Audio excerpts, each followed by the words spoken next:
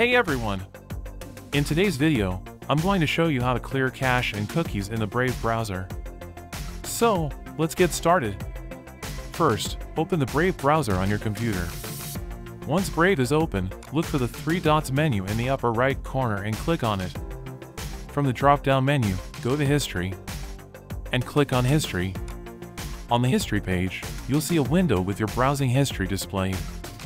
Look for the link that says Clear Browsing Data and click on it. This will open a pop-up window titled Clear Browsing Data.